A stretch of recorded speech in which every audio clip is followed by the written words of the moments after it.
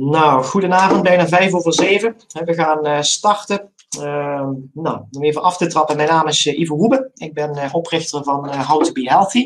Tevens ook natuurgeneeskundig therapeut. En naast mij in de chat hebben we Beata Marton. zij is ook een van onze consulenten en ook lid van ons medisch team.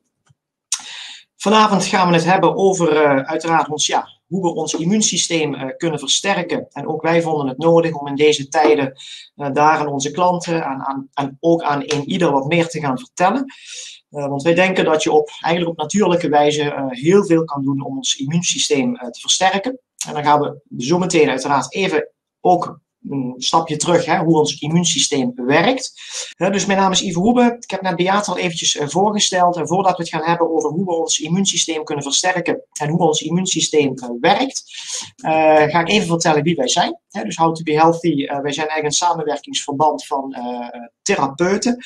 En wij bieden eigenlijk ja, integrale programma's aan onze cliënten aan, die vanuit ja, diverse gezondheidsproblematieken hulp nodig hebben. En eigenlijk noemen we dat ja, de leefstijl geneeskunde.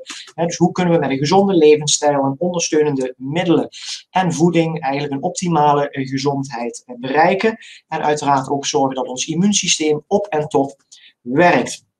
Nou, misschien ook, ik ga er ook even erin gooien dat ik uh, in die zin ook wel even trots ben dat in ons uh, volledig klantenbestand wij het afgelopen jaar uh, ook tientallen mensen hebben gehad die corona hebben gekregen. Zijn er ook vaak wel wat ziek van geworden, maar gelukkig ook niemand ernstig ziek is geworden, niemand gehospitaliseerd.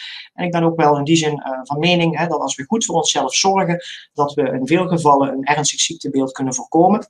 En we gaan het uiteraard ook wat breder trekken dan uh, alleen corona. dus wij zijn eigenlijk een, een uh, een bedrijf waarin wij volledige gezondheidsprogramma's aanbieden, maar we hebben online uh, programma's. En uh, die bieden wij aan in Nederland en in België. En ook hebben we een webshop waarin we ondersteunende uh, middelen verkopen. En dat is eigenlijk wat wij doen. En dan ga ik met jullie wat meer de diepte in. Ehm, even kijken, ja. Nou, voordat we gaan beginnen vind ik het ook leuk om even te weten wat is jullie reden van deelname. Hè? Van, uh, is dat bijvoorbeeld omdat jullie je zorgen maken over corona en dat je wilt weten, nou, hoe kan ik mijn immuunsysteem versterken? Of ben je meer in algemene zin geïnteresseerd over de werking van het immuunsysteem? Hè, wellicht maak je gebruik van medicatie die uh, de weerstand uh, vermindert. Of wil je vooral ook weten, nou, welke supplementen kan ik uh, nemen? Dus ik ben ook even nieuwsgierig ja, wat, wat is jullie reden van, van deelname? Ik zet hem eventjes weer een minuutje stil en dan gaan we door. Dat jullie allemaal uh, zo goed reageren. Ik hoor uh, hier en daar corona, maar ook heel veel algemene ja, verbreding van de kennis over het immuunsysteem. Ook een stukje adviezen over supplementen. Eigenlijk komt alles wel een beetje aan, aan bod. dus dan gaan we gewoon verder.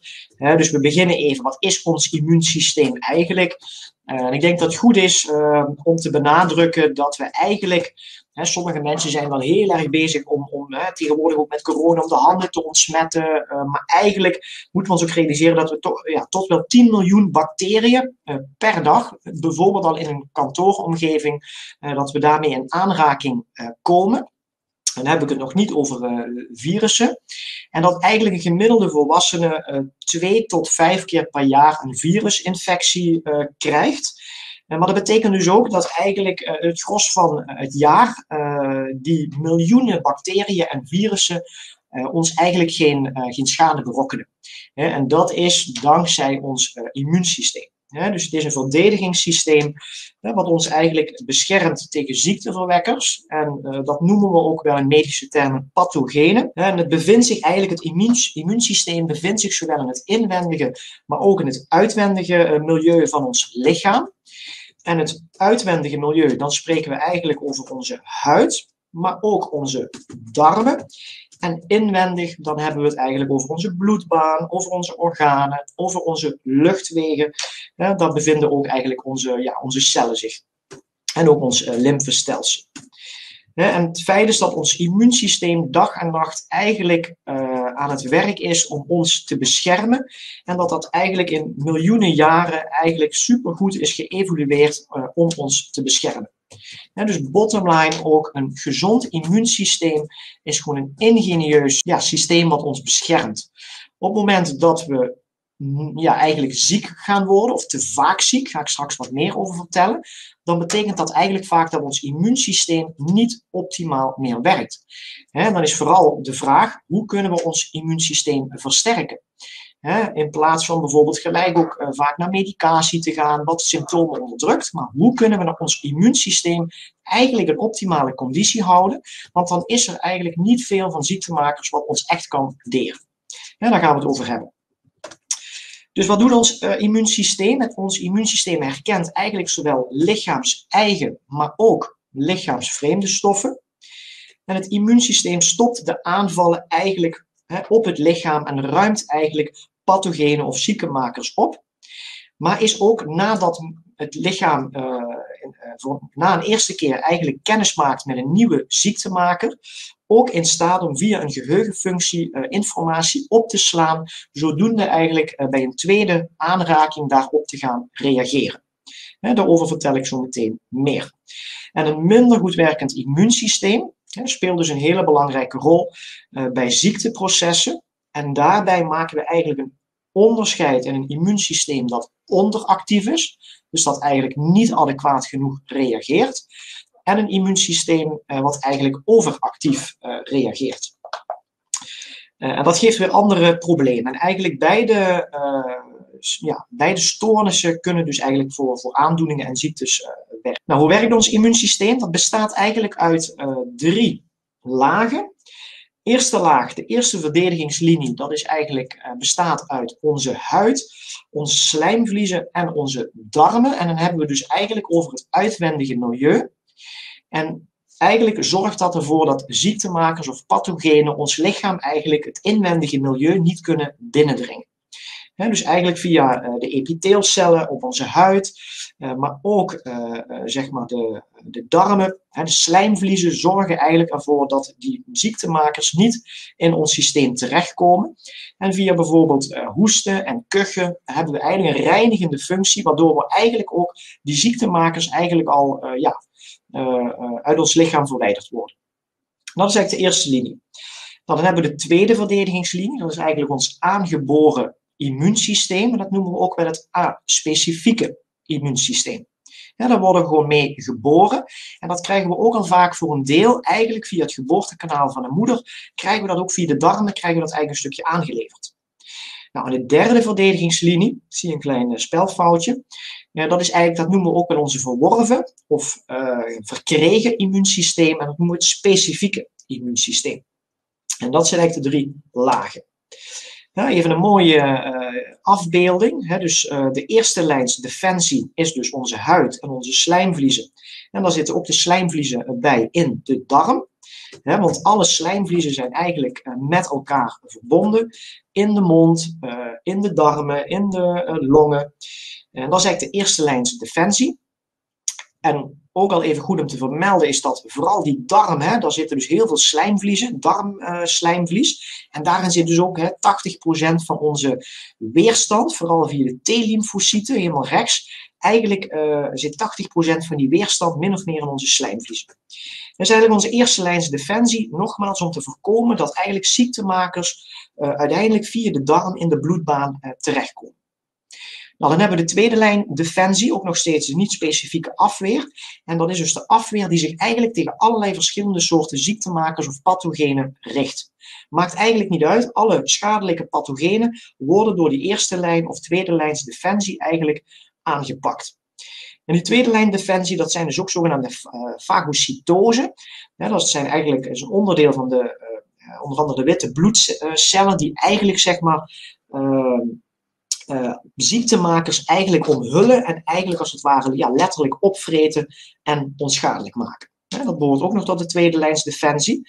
Maar dan hebben we ook bijvoorbeeld een ontstekingsreactie. Want een ontsteking, mensen denken wel eens dat is schadelijk. Ja, dat kan het zo zijn. Dat kan vervelend zijn en pijnlijk zijn. Maar een ontstekingsreactie is eigenlijk een signaal waarbij eigenlijk stoffen worden opgeroepen door het lichaam om ziektemakers, pathogenen op die plek te gaan bestrijden. Dus ontsteking is nuttig en onderlijn, of onderdeel van die tweede lijn defensie. En dan hebben we ook nog zogenaamde eiwitten van het complementsysteem. Die zorgen er ook eigenlijk voor dat ons lichaam weet dat uh, zeg maar ergens een ontsteking plaatsvindt. En dat dus eigenlijk die uh, afweerstoffen naar die plek toegelokt worden. Nou, en tenslotte hebben we ook nog de specifieke afweer. Hè, en dat is echt de derde lijns defensie, waarin eigenlijk ook met behulp van die geheugenfunctie via B-lymfocyten, T-lymfocyten en antistoffen eigenlijk heel specifiek bijvoorbeeld een corona-infectie onschadelijk wordt gemaakt. dus uh, ik heb al veel verteld. Dus die eerste specifieke, of die eerste A-specifieke verdedigingslinie, dat betreft dus eigenlijk de fysieke en de chemische barrière tussen het lichaam uh, en de omgeving door middel van huid traanvocht, haar, wimpers, oorsmeer. en onze slijmvliezen zijn we eigenlijk in stand om heel veel uh, ziektemakers buiten de deur te houden. waarbij eigenlijk onze slijmvliezen heel belangrijk zijn, vooral ook in die darmen uh, zitten. En eigenlijk 80% ook van onze immuniteit, ja, die zit eigenlijk in onze darm. En dat voorkomt dus dat, zoals ik al zei, schadelijke stoffen en ziekteverwekkers eigenlijk het inwendige lichaam uh, binnendringen. De inwendige omgeving. Nou, dan hebben we de aangeboren, dus uh, de tweede verdedigingslinie. Dat is ook nog altijd A-specifiek. En dan hebben we het over dus een cellulaire en chemische barrière. Uh, samen dus met de eerste verdedigingslinie is dat gezamenlijk het A-specifieke immuunsysteem, dat zich dus eigenlijk richt op alle soorten indringers. Het is eigenlijk een snelle verdediging die eigenlijk de meeste uh, indringers al onschadelijk maakt. Ook heel veel in het neus, slijmvlies maken ook al heel veel uh, ziektemakers onschadelijk. Nou, dat doen we dus, zoals ik al zei, onder andere via een ontstekingsreactie, maar ook een heel mooi voorbeeld is koorts. op het moment dat we koorts krijgen, is dat eigenlijk een poging van ons lichaam door de temperatuur te verhogen om die ziektemakers eigenlijk uh, te doden. Maar ook de witte bloedcellen zoals monocyten, granulocyten uh, en macrofagen, die dus eigenlijk letterlijk uh, die ziektemakers opvreten, hè, zijn onderdeel van die tweede verdedigingslinie. Nou, dan hebben we dus belangrijk ons uh, ja, eigenlijk verkregen, dus niet aangeboren, specifieke immuunsysteem. Hè, dat is de derde en laatste verdedigingslinie. En dat richt zich dus eigenlijk steeds op een specifieke uh, ziekteverwekker. En dat reageert dus niet op het moment dat een, het lichaam voor, de eerste keer wordt aangevallen door een micro-organisme, omdat we simpelweg dat mechanisme dus ja, nog niet kennen. En dus na zo'n eerste contact met zo'n indringer of een lichaamsvreemde stof, worden dus eigenlijk geheugencellen aangemaakt, zodat eigenlijk bij het volgende contact ons immuunsysteem veel sneller en efficiënter uh, kan reageren. En dan kost zo'n immuunreactie ook veel minder energie. En dat is ook de reden dat als we de eerste keer hè, dus een, een, een infectie krijgen, hè, bijvoorbeeld een kind, wat, uh, bijvoorbeeld die is dan ook wel gevaccineerd, maar als die een eerste infectie krijgt met de waterpokken, hè, dan ja, is dat gewoon een veel ernstigere infectie en heeft het lichaam dus tijd nodig hè, voordat eigenlijk de werking van de immunisatie op gang komt. En belangrijk ook om te weten is dat dus de vaccinatie eigenlijk berust op dit systeem. Dan hebben we het wel vooral ook over hè, een stukje de klassieke vaccinatie, waarin we eigenlijk uh, door de uh, virussen, of in ieder geval uh, in hele lage doseringen, eigenlijk inspuiten om eigenlijk die geheugencellen te trainen om een afweerrespons eigenlijk te gaan voorbereiden. Nou, en binnen dat systeem spelen nou, onze T-lymfocyten en B-lymfocyten een hele belangrijke rol. Maar dat gaat wel heel erg diep voor dit moment. Nou, belangrijk is dus hè, de veroudering van het immuunsysteem. We weten nu dat ons immuunsysteem uit drie lagen bestaat. En eigenlijk is een optimaal werkend immuunsysteem, dus als alle drie die lagen goed functioneren, eh, dan is ons immuunsysteem heel goed in staat om ziektemakers te baas te kunnen ook bijvoorbeeld corona. Nou, maar die effectiviteit van het afweersysteem, uh, die neemt af ja, naarmate we ouder worden, omdat eigenlijk uh, het moeilijker wordt om lichaams-eigen stoffen van lichaamsvreemde stoffen te onderscheiden. En daarbij kan ik al een kanttekening maken dat dat ook een, een belangrijke relatie heeft met allergieën. Ja, dat is eigenlijk een, een overactief eh, reactie van ons lichaam, waarbij er identificatiefouten worden gemaakt en ons lichaam eigenlijk ja, ja, eigenstoffen niet meer kan uh, onderscheiden van een lichaamsvreemde stof. Dat is een belangrijk effect van veroudering. Maar dat kan ook betekenen een langzamere reactie op een nieuwe ziekte verwekken. dus het duurt langer voordat eigenlijk ons immuunsysteem uh, in staat is om, af, om eigenlijk zeg maar, afweerstoffen aan te maken. en dan kan het ook zijn dat het dus langer duurt voordat we eigenlijk ja, ons langzaam beter gaan voelen. Dan hebben we ook nog de hoeveelheid complement-eiwitten. Die is bij ouderen kleiner dan bij jongeren. En dat is bijvoorbeeld weer heel belangrijk om te zorgen dat eigenlijk afweerstoffen snel op de plek komen waar eigenlijk die ziektemakers zich uh, bevinden. Nou, minder antilichamen als reactie op een antigeen. Uh, en de antilichamen zijn ook minder goed in staat om zich aan een antigeen uh, te binden. En dat betekent eigenlijk dat naarmate we ouder worden, onze afweerstoffen eigenlijk minder effectief gaan werken. Dus dan hebben we ook meer eigenlijk afweerstoffen nodig om nog dezelfde reactie te krijgen dus het is minder effectief. Nou, dus het gaat dus een balans, een goede balans in het immuunsysteem. Dat betekent dus eigenlijk dat we zowel uh, geen onderactief systeem hebben, maar ook geen overactief systeem. Beide zijn eigenlijk schadelijk op hun eigen manier dus een onderactief systeem betekent eigenlijk dat we infecties, schimmels, virussen en parasieten, dat die eigenlijk te lang ongestoord hun gang kunnen gaan. waardoor eh, we dus vaker ziek worden, maar ook langduriger ziek worden en meer tijd nodig hebben om te herstellen. dat zien we ook vaak bij oudere mensen. Maar aan de andere kant kunnen we ook een overactief immuunsysteem hebben. En een overactief immuunsysteem kan leiden tot zogenaamde auto-immuunaandoeningen, waarbij er ook vaker uh, zeg maar identificatiefouten gaan ontstaan. Maar jullie hebben ook met corona wel eens gehoord van een zogenaamde cytokinestorm. En dat betekent eigenlijk dat er uh, veel te veel uh, zeg maar ontstekingsbevorderende stoffen worden aangemaakt. En dat is ook een voorbeeld eigenlijk van een overactief immuunsysteem. ons immuunsysteem reageert te sterk op de ziektemaker en ook dat kan voor schade in het lichaam zorgen want bij een overactief immuunsysteem en ook eigenlijk uh, auto-immuunaandoeningen gaat eigenlijk ons lichaam lichaams uh, eigen weefsels aanvallen. En dat gebeurt ook bijvoorbeeld bij corona, bij een cytokinestorm, valt eigenlijk ons lichaam uiteindelijk in de poging om een ziektemaker te bestrijden, gaat eigenlijk onze eigen weefsels aanvallen en daar kunnen, dus ook, kunnen we ernstig ziek van worden en zelfs aan overlijden. Nou, dan gaan we zo meteen uh, gaan we het hebben over het immuunsysteem. Hè? Uh, hoe gaan we dat versterken? Dus ik denk dat we in algemene zin redelijk wat informatie hebben gegeven uh, over het immuunsysteem. En dan ga ik even twee minuutjes even pauze inlassen, even een glaasje water drinken en dan gaan we weer verder. En mochten er in de tussentijd vragen zijn, dan hoor ik dat graag. Nou, dan gaan we weer door. Inmiddels zijn een paar vragen binnengekomen. En een van de vragen vond ik wel eventjes heel, ja, wel even heel ja, goed om eventjes te beantwoorden eigenlijk. Hè, hoe hoog mag koorts eigenlijk zijn hè, voordat je moet ingrijpen? Dat is een goede vraag, omdat het kan soms dus ook heel schadelijk zijn om een koortsreactie eigenlijk te gaan onderdrukken, om de temperatuur te gaan eh, verlagen. Hè, omdat koorts eigenlijk een heel nuttig mechanisme eigenlijk is om de lichaamstemperatuur eh, ja, voldoende hoog te krijgen om die ziektemakers uh, te doden. In principe bij uh, kinderen kunnen we een wat hogere temperatuur uh, hebben dan bij volwassenen. En bij volwassenen moeten we in ieder geval zorgen dat op het moment dat die koorts boven de 40 graden komt, dan wordt het wel echt gevaarlijk. En dan spreken we ook van hoge koorts. En dat is, uh, kan gevaarlijk zijn. onder de 40. in principe hebben we nog geen hoge koorts en zou je in principe ook nog niet hoeven in te grijpen. maar koorts in principe is dus ja, een heel nuttig mechanisme.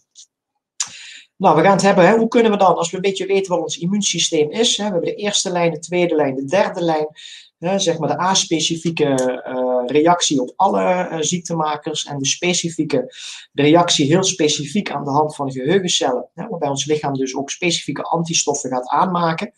Uh, nou, immuunsysteem versterken, eigenlijk gaan we het vooral hebben over een stukje voeding, hè, sport, rust en hoe kunnen we ja, ook via supplementen eigenlijk dat uh, systeem gaan uh, versterken. Nou, ook belangrijk is, het is niet alleen maar versterken, maar we moeten ook voorkomen dat ons immuunsysteem uh, verzwakt. en ja, we hebben ook bijvoorbeeld met corona gezien dat er een hele duidelijke relatie is dat mensen met zwaar overgewicht, dat die eerder op de intensive care belanden en dat is niet voor niets. Dat is onder andere ook omdat dat, dat de vetweefsel ook veel te veel cytokine bevorderende stoffen aanmaakt wat dus ook weer uh, schade kan berokkenen. Dus een overreactie uh, kan bewerkstelligen, maar ook een hormonale disbalans en dus ook een verstoring van het immuunsysteem met zich meebrengt. En te weinig slaap, bijvoorbeeld, gaan we het dadelijk ook over hebben, is ook ontzettend belangrijk, omdat dat een vorm ook van stress is voor ons lichaam, waarbij ook goede darmbacteriën worden gedood, die er ook voor zorgen dat die pathogenen in de darm ja, kunnen overleven of eigenlijk de overhand kunnen gaan nemen dus voeding, wat kunnen we daarover vertellen? Voeding of ja, vulling. In algemene zin wil ik vooral kwijt dat ons lichaam één grote biochemische fabriek is. Waarin eigenlijk miljarden processen zich voldoen. En er ook voortdurend ja, binnen die fabriek eigenlijk met behulp van ja, eh, grondstoffen die we in de voeding aantreffen, uh, er ook allerlei eindproducten worden aangemaakt als aminozuren, als enzymen, uh, hormonen, maar dus ook hè, afweerstoffen die we nodig hebben.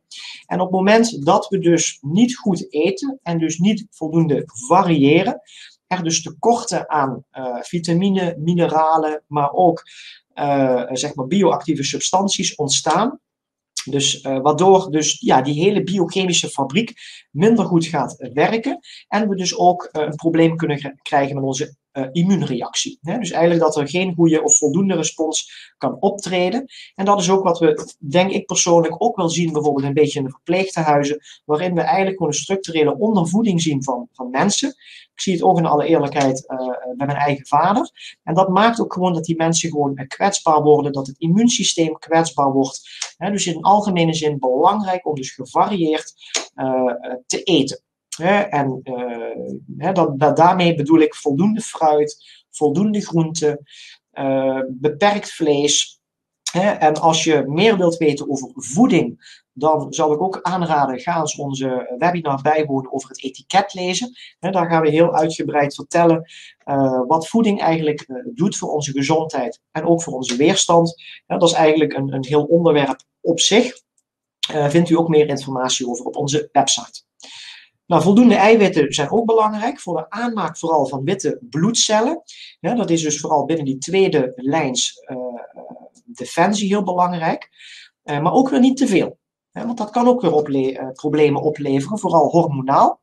Dus in ieder geval wel voldoende eiwitten. Daarom is het ook belangrijk dat we ook af en toe een stukje vlees eten. Nou, gezonde voeding voor de darmen. En dan vooral ook zorgen dat we voldoende prebiotische vezels binnenkrijgen. die zitten bijvoorbeeld veel in peulvruchten, de kikkererwten, linzen. En die prebiotische vezels zijn eigenlijk weer een voedingsbodem voor onze goede darmbacteriën. En die goede darmbacteriën, daarvan hebben we 1 kilo uh, hebben we daarvan in onze darmen zitten. 1 kilo. dat is veel, een heel pak suiker. En die goede darmbacteriën uh, zijn eigenlijk voor grote mate verantwoordelijk voor een goede immuniteit. En die beschermen dus ook dat eigenlijk ziektemakers kunnen gaan boekeren. Ehm, dus dat is heel belangrijk. dus goede ja, prebiotische vezels, vooral te vinden in groenten veel, in fruit, maar dus ook peulvruchten zoals kikkererwten, linzen en zwarte bonen. Verder heel belangrijk om dus de suikers te beperken. En dan richt ik me vooral op de toegevoegde suikers. En dat zit ook vaak verborgen in allerlei uh, voedingsproducten. Nogmaals een link, ga ook onze andere webinar een keer bijwonen. Want die suikers zitten overal in verborgen. Maar dan heb ik het niet over de gezonde suikers die onderdeel zijn van een voedingsmiddel, als bijvoorbeeld fruit. Dat zit in een ja, mooi cocktail, in een mooi jasje. Ja, die suiker heeft ook hele goede eh, functies, die hebben we ook gewoon nodig. Onze hersenen en onze zenuwstelsel, die draaien eigenlijk bijna volledig op suikers. Maar we hebben het hier vooral over die toegevoegde suikers, over kristalsuiker, die ook eigenlijk weer aanzet tot ontsteking. Het witte vergif noemen ze het ook wel. En ook ons immuunsysteem ontzettend verzwakt. Nou, dan hebben we mineralen, vitamine, maar ook dus uh, antioxidanten, waaronder polyfenolen. Die zijn ook heel belangrijk voor onze leverfunctie op peil te houden. We hebben ook weer een belangrijke relatie met de darm en ook ons immuunsysteem. Hè, om eigenlijk ook te zorgen dat we dat immuunsysteem adequaat kan reageren en dat er dus ook voldoende afweerstoffen aangemaakt worden. Nou, wat veel mensen wel eens vergeten we bestaan voor 70% uit water. Dus we hebben ook voldoende water nodig. En dat is vooral om eigenlijk onze slijmvliezen ook, dat is eigenlijk onze huid van binnenuit, hè, die onze darm uh, bekleedt, onze longen bekleedt, onze neus bekleedt. Heel belangrijk om die goed te onderhouden, omdat eigenlijk onze immuniteit voor een groot gedeelte dus eigenlijk in die slijmvliezen zit. En als we dus onvoldoende drinken, uh, gaan ook die slijmvliezen achteruit hè, en uh, ja, wordt ons immuunsysteem dus zwakker. Dus genoeg water drinken, tenminste zeg ik altijd ongeveer 2 liter water per dag. En weet ook dat een kruidenthee bijvoorbeeld kan niet volledig de functie van water vervangen. Drink echt minimaal anderhalve liter per dag. Nou, bewegen. ook heel belangrijk. Uh, en dan hebben we het vooral over matig intensief bewegen. Niet te intensief sporten. Omdat matig intensieve beweging eigenlijk ons immuunsysteem activeert en dus ook helpt om om te gaan met uh, ziekteverwekkers. En heel belangrijk, het vertraagt ook het verouderingsproces van het immuunsysteem, waarvan ik de nadelen net allemaal heb uitgelegd. En eigenlijk kunnen we dat dus door sporten uh, vertragen. En heel belangrijk is ook dat sporten, dus matig intensief bewegen, dus ook uh, zeg maar ontsteking remt. En onze longen gezond houdt. En ook onze hormonale balans ondersteunt. En tenslotte, we hebben ook nog gezegd, beweging is zeer effectief om onze stresslevels uh, ja, zeg maar onder controle te houden. En daarmee stress doodt ook niet alleen uh, slechte bacteriën, maar stress doodt eigenlijk de goede bacteriën in onze darm. Nou, dus ook wel, ik heb zelf ook ooit uh, problemen gehad met mijn uh, darm. En ooit, uh, zeg maar, van de een op de andere dag had ik opeens vier jaar geleden reumatische klachten. En na een darmonderzoek bleek eigenlijk dat ik ook, ja, na een periode van te intensief, te veel werken, te veel stress, eigenlijk mijn goede darmbacteriën uitgeput raakte. En dat zorgde dus ook gelijk voor een overactief immuunsysteem. En ook problemen, zeg maar, uiteindelijk, die ik gelukkig heb kunnen oplossen door ja, op tijd in te grijpen stress is eigenlijk funest voor onze weerstand. Nou, voldoende slaap en rust, het hangt er een beetje bij samen. door rust en uh, voldoende slaap kan ons lichaam die ziektemakers eigenlijk uh, opruimen. Uh, zorgen we ook dat onze hormoonbalans optimaal is. en ook heel belangrijk, doordat we dus onze hormonen in balans zijn, dan heb ik het vooral over hormonen als ghreline en leptine, kunnen we ook voor zorgen dat we overgewicht voorkomen. Slecht slapen zorgt namelijk ook voor meer honger overdag en dan ons hele eh, stofwisseling of metabolisme ook trager werkt. Nou, dus hoe kunnen we dan eigenlijk ons immuunsysteem versterken door middel van bijvoorbeeld supplementen? Voeding heb ik al besproken. En er zijn er gewoon een aantal in mijn optiek die gewoon ontzettend uh, belangrijk zijn en die ook door heel veel onderzoeken uh, en studies ondersteund worden. Nou, laten we beginnen met vitamine D. Ook een stukje in relatie met corona. onlangs eh, was er ook een oproep in diverse kranten, eh, hoogleraren, eh, die dus ook het belang van vitamine D onderschreven en ook niet goed begrepen waarom we niet preventief eigenlijk in deze tijd ook mensen allemaal vitamine D geven. Nou, en dat, eigenlijk dat, uh, die oproep die onderschrijf ik volledig. Vertel ik daar dadelijk nog iets meer over. Maar vitamine D is dus eigenlijk het, het is eigenlijk een hormoon wat super belangrijk is om een optimale werking van ons immuunsysteem uh, te borgen. En we hebben zelfs in de zomer heeft 40% van de mensen een tekort. Nou, verder antioxidanten zijn ook heel belangrijk. Vitamine C, super belangrijk voor onze afweer. Ik wil ook nog even één stapje terug maken met die vitamine D, hoe belangrijk dat is. Is dat er zelf onderzoeken zijn. Uh, er zijn meerdere over met ook wat wisselende interpretaties. We weten gewoon hè, dat vitamine D uh, is goed.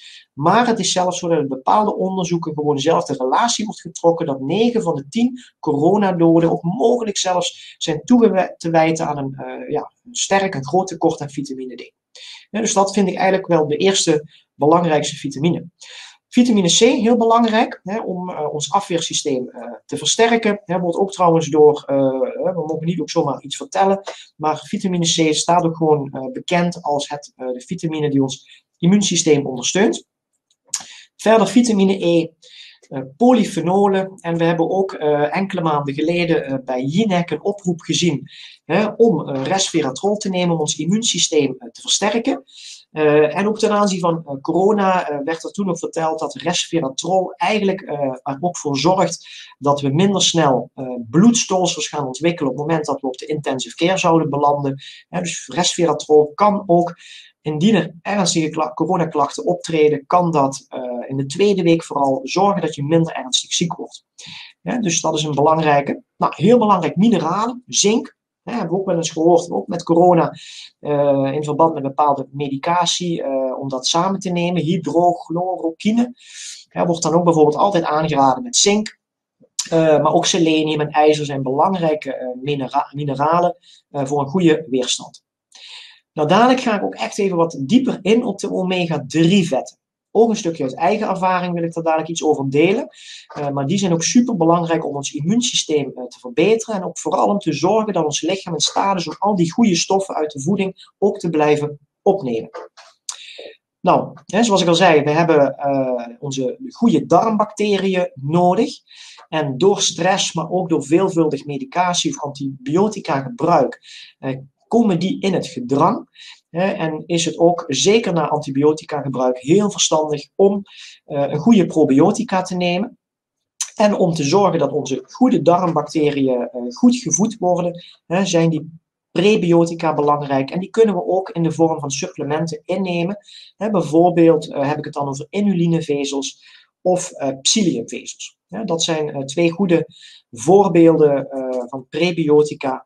Maar ook bijvoorbeeld een chlorella is ook een alg wat heel veel prebiotische vezels bevat, hè, waar, wat onze goede darmbacteriën voedt.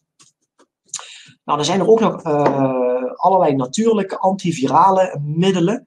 Bijvoorbeeld een Pervital uh, is iets wat ik zelf veelvuldig uh, gebruik. maar ook aminozuren zijn super belangrijk om ons afweersysteem ja, goed te laten werken. En in het bijzonder vooral het aminozuur L-lysine.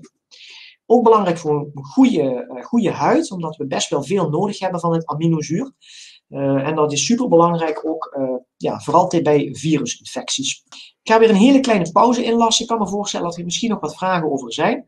Dan uh, wil ik die ook gelijk proberen te beantwoorden. dus als er vragen zijn, we pauzeren even voor één minuut. Ja, nou, er zijn weer een paar vragen. Nou, ik ga in ieder geval inderdaad even mezelf uit beeld halen, omdat ik uh, ook zie dat er wat mensen op de mobiel uh, de webinar willen volgen. En dan is het inderdaad lastig lezen. Uh, dus dankjewel Mano voor de input. verder ook ja, een goede vraag van hoe weet ik eigenlijk of mijn hormoon, hormonale systeem uit balans is. Nou, ik zeg eigenlijk als je hormonen uit balans zijn, dan heb je daar meestal last van dat betekent vaak bijvoorbeeld mensen die uh, vaak uh, bijvoorbeeld overgewicht, terugkerend overgewicht hebben, kan je bijna altijd wel vaststellen dat je, hormo ja, je hormoonsysteem uit balans is. Uh, ik heb net ook iemand gehad die zeg maar medicatie voor de schildklier neemt. Dat betekent dat je schildklier uit balans is. Dat is ook hormonaal. Ehm, als we veel honger hebben, betekent dat ook vaak dat ons hormonale systeem uit balans is. Ehm, dus eigenlijk, ja, ons hormonale systeem is eigenlijk met alle uh, lichaamsfuncties eigenlijk wel uh, verweven. Dan ga ik weer door. onze belangrijkste tekorten. dus als ik ga kijken van, nou, we hebben eigenlijk ook op onze website een mooie uh, blog over tekorten aan voedingsstoffen. Daar staat veel meer informatie over.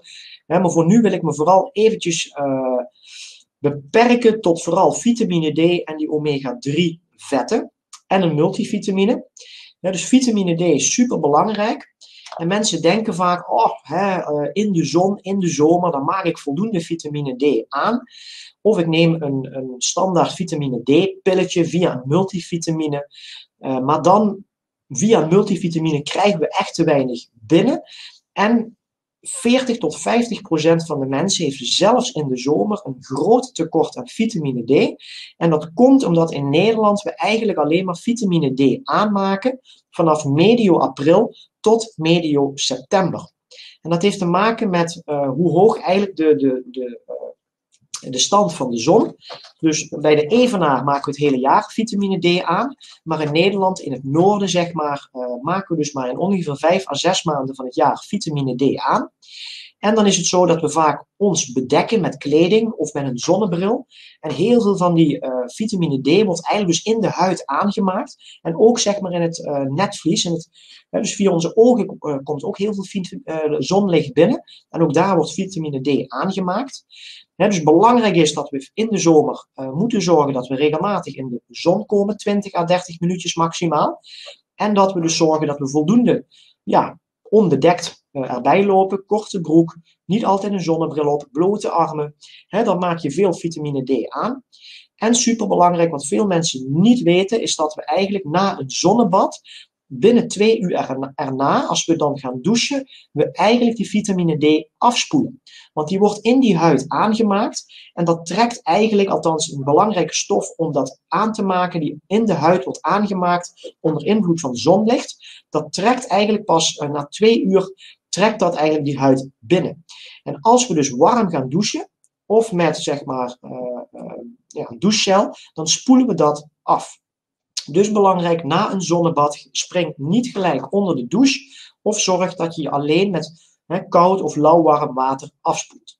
Nou, in al die gevallen zeg ik eigenlijk slik preventief vitamine D. En in een gemiddelde multivitamine uh, zit te weinig. mijn advies is om in de zomer een 1000 eenheden te nemen.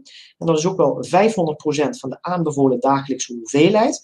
En in de winter is mijn advies: slik dan het dubbele, 2000 eenheden vitamine D per dag. Wil je niet preventief uh, vitamine D innemen, hè, dan is het ook heel goed mogelijk, doen wij ook vaak, om naar de huisarts te gaan en om gewoon even je vitamine D te laten prikken. En dan ook goed te kijken dat jouw waarde uh, want de huisarts is daar vaak een beetje positief over om eigenlijk te zorgen dat je dus meer dan 90 millimol uh, mol uh, uit mijn hoofd, dat, dat is eigenlijk de onderwaarde. Dus probeer boven 80 à 90 te zitten, dan zit je eigenlijk goed. Maar het liefst zelfs een waarde boven de 100. Maar de reguliere geneeskunde hanteert als ondergrens eigenlijk 50.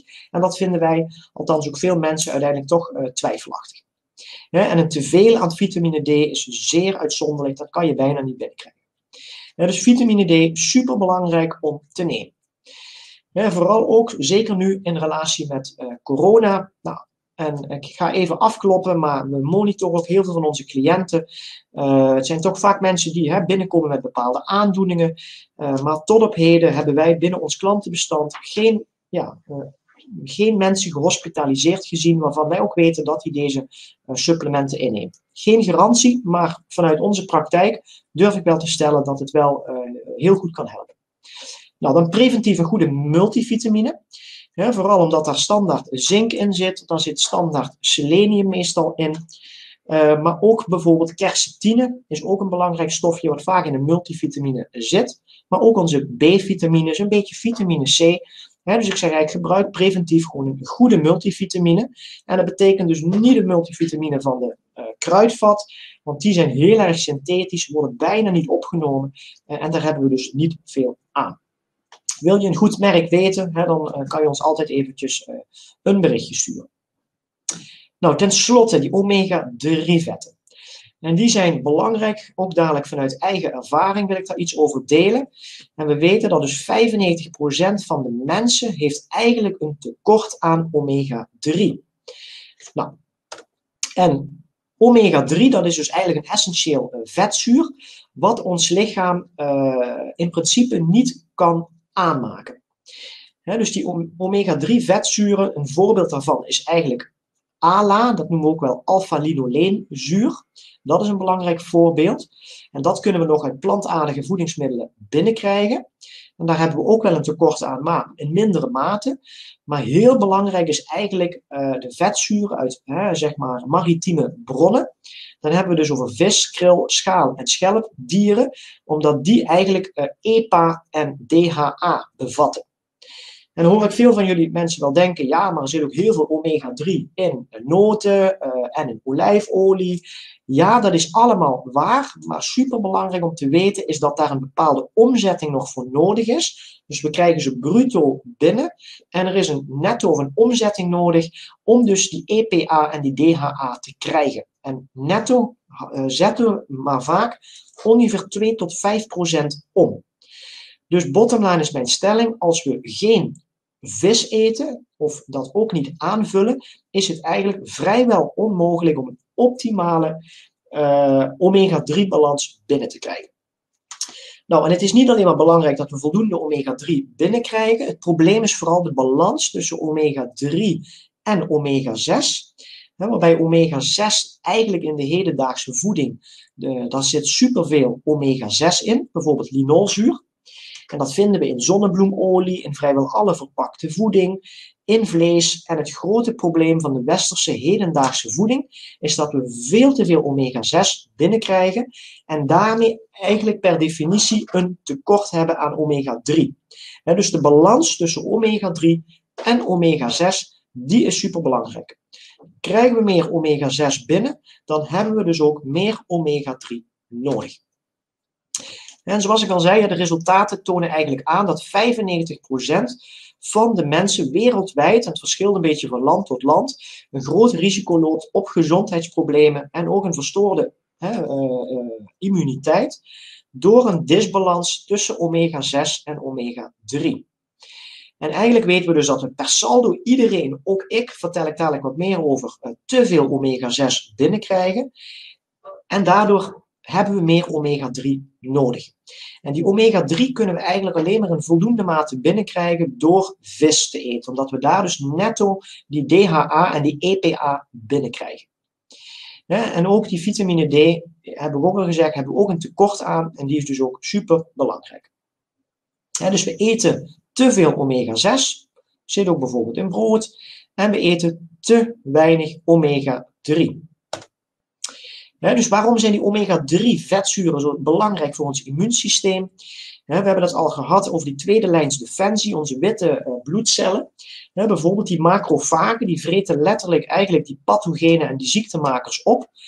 Uh, en die omega-3 hebben we dus eigenlijk nodig voor de productie uh, van die macrofagen en ook de afscheiding van signaalmoleculen zoals cytokine die eigenlijk zorgen dat die afweerstoffen via eigenlijk een ontstekingsreactie op hun plek van bestemming komen. dus de, het vergroot de fagocytische capaciteit, maar het reguleert dus ook de functie van de macrofagen. En ook, het stimuleert dus ook de activiteit van B-cellen en T-cellen. dus dan hebben we het ook over die derde lijns uh, defensie. Daar is het dus ook belangrijk voor. Zowel voor die tweede lijn en die derde lijn.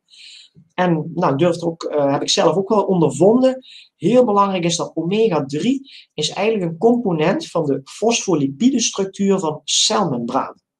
En dat betekent eigenlijk dat als we dus naarmate we ouder worden en ook te weinig omega-3 binnenkrijgen, de celmembranen gaan verharden en onze cellen eigenlijk minder goed in staat zijn om afvalstoffen uh, uit te scheiden en minder goed in staat zijn om eigenlijk voedingsstoffen op te nemen.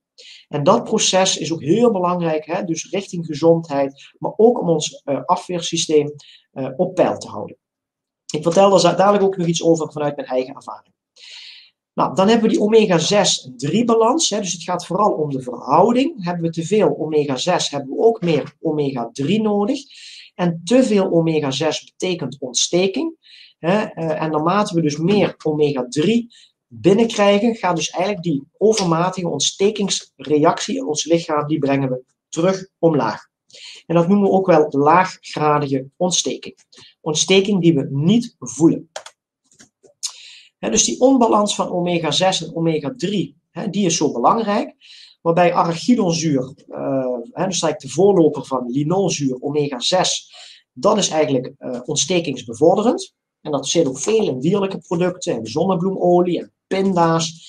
En die omega-3, die EPA en die DHA, hè, dat is eigenlijk de voorloper van de ontstekingsremmende uh, stofjes en die zitten vooral in vis.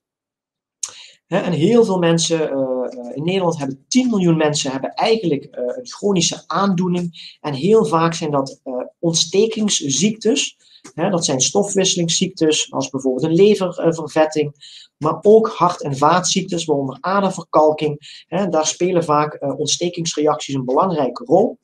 En zo zie je ook diabetes is heel belangrijk, is ook eigenlijk voor een deel een ontstekingsziekte. Uh, en tal van aandoeningen ja, hebben dus een relatie met eigenlijk te veel omega-6, te uh, hoge ontstekingsgraad. Dus het begint allemaal ook bij de basis, zoals ik ook al zei, een ongezonde cel is vooral ook een cel waarbij het celmembraan eigenlijk gaat verharden en eigenlijk uh, de permeabiliteit, de doorlaatbaarheid van het celmembraan eigenlijk vermindert en dus slechter doorlaatbaar wordt. En daarmee dus ook een beperkte opname van voeding gaat plaatsvinden. Nou, en dadelijk vertel ik daar ook wat meer over, want ik nam eigenlijk al jaren, uh, ik eet heel gezond, uh, ik neem ook de nodige supplementen. Maar de laatste uh, twee à drie jaren begon ik ook wat klachten te ondervinden, wat ontstekingsklachten, tandvleesontsteking. ik merkte ook dat ik wat meer last krijg van, van haaruitval.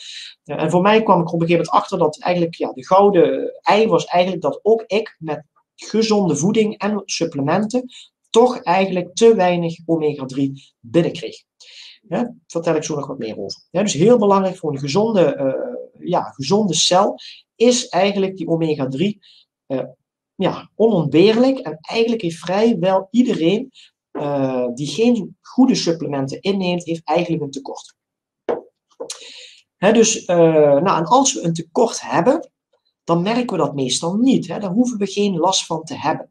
Dus de ontsteking waar ik dan over spreek, dat noemen we ook wel laaggradige ontsteking. Dat is een ontstekingsreactie die we niet voelen. Soms kan zich dat ook gaan hè, openbaren in ook ontstekingsziektes. Maar de eerste jaren voelen we dat vaak niet.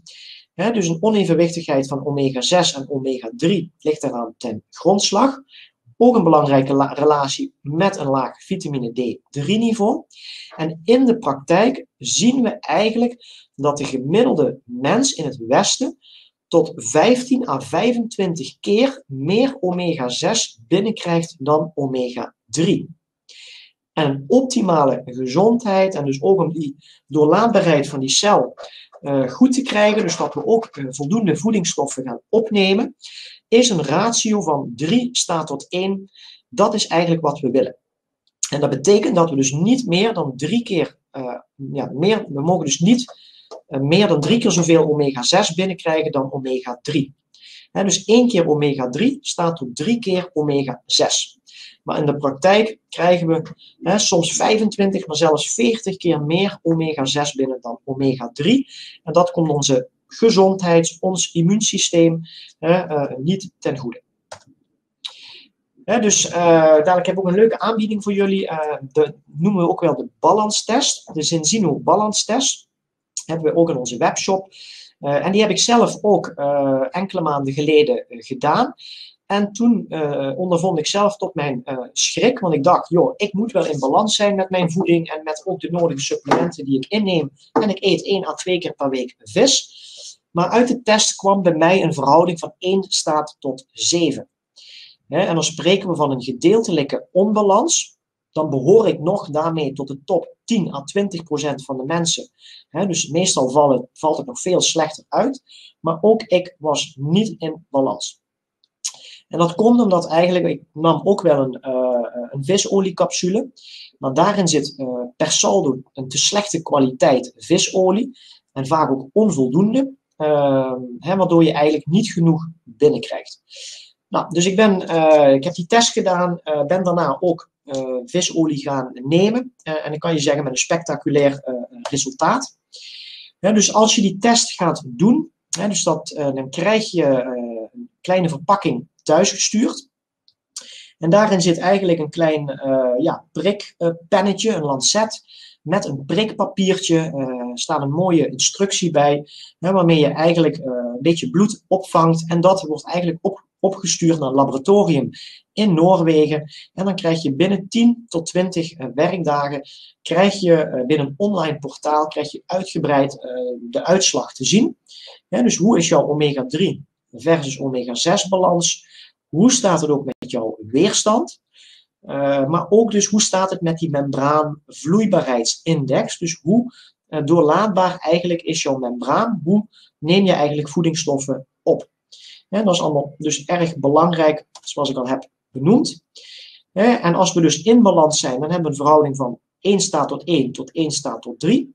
Maar de meeste mensen hebben vaak een balans van 1 staat tot 25 en soms zelfs 1 staat tot 40 met de nodige consequenties van dien ook voor jouw weerstand. En zoals ik al zei, ik had een, verhouding van 1 staat tot 7. En ik had eigenlijk de laatste twee jaar, uh, ik was er een beetje aan gewend. Ik had een beetje een chronische uh, last van een Achilleshielontsteking. Elke ochtend had ik daar een beetje last van. Als ik ging sporten had ik altijd wat ja, kleine pijntjes in mijn rechterarm. Een beetje bloedend tandvlees. Uh, en ik merkte ook uh, ja, dat de laatste jaar dat ik gewoon meer last had van haaruitval. Uh, ik kon er de vinger niet opleggen. Nou, ik was dus hier niet in balans. En wat ik vooral heel belangrijk vond om te weten, is dat toen ik die visolie ging nemen, eigenlijk ja, ook al die andere supplementen blijkbaar veel beter opgenomen werden. En binnen drie weken was eigenlijk mijn haaruitval gestopt, waar, was mijn tandvleesontsteking weg. En had ik eigenlijk ook weer de gewrichten ja, zeg maar van een jonge. Ja, dus dat is ook gewoon een stukje mijn persoonlijke ervaring die ik daarvan wil delen. Dus we kunnen je, nou, belangrijk dus voor je immuunsysteem, vitamine D, goede multivitamine, maar zeker ook die omega-3, omdat vrijwel iedereen daar een tekort aan heeft. Ook al eet je één à twee keer per week vis. En in balans kom je naar maximaal 120 dagen. Drie maanden, dat heeft ook te maken dat eigenlijk een rode bloedcel uh, zich elke drie maanden, ja, die gaan dan drie maanden dood dus als je begint met het nemen van visolie, eigenlijk die rode bloedcellen uh, die dat ook transporteren, eigenlijk na drie maanden volledig uh, verzadigd zijn. Het resultaat is dan ook dat 95% van de mensen uh, die, die, dus die Zenzino visolie, waar ik dus echt fan van ben, gebruiken, dat die na 120 dagen eigenlijk weer een optimale verhouding hebben, of dat het er in ieder geval tegenaan zit. Ja, dus een uh, unieke combinatie, want uh, niet elke visolie is van goede kwaliteit. Er zijn zeker ook een aantal andere visolies, uh, rauwe visolies in de markt, vaak vloeibaar, die ook goede, van goede kwaliteit zijn. Ja, maar belangrijk is dat de visolie is gewonnen uit wilde vis, dus geen kweekvis. en dat er dus ook omega-9 aan is toegevoegd uit olijven en ook een stukje, ja, ook wat vitamine D.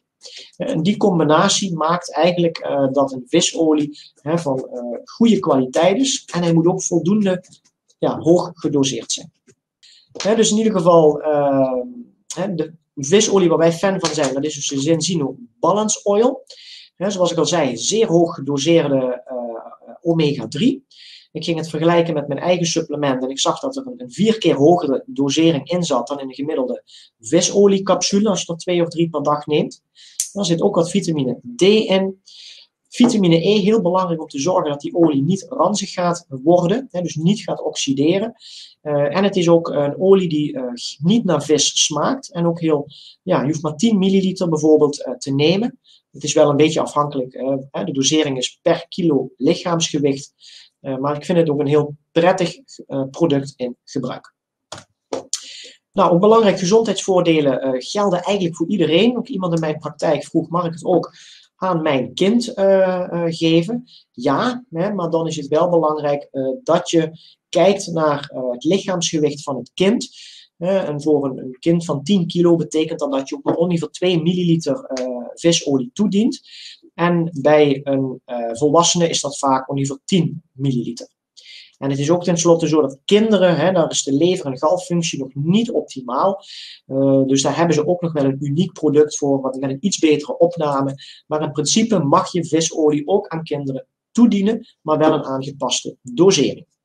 dus uh, nou, alles wat ik in principe net heb verteld, uh, wil ik ook even aangeven dat er ten aanzien van omega-3 er een 18 ook gezondheidsclaims zijn goedgekeurd door de hè, Europese Autoriteit voor Voedselveiligheid. Let wel, de drie in het groen die je hier ziet, dus een normale hersenfunctie, een normale hartfunctie en dus een normale functie van het immuunsysteem, die zijn ook echt goedgekeurd. Die andere 15 claims, uh, die zijn in principe nog, uh, die zijn een onderzoek. Hè, die, uh, dus die worden nog gekeurd.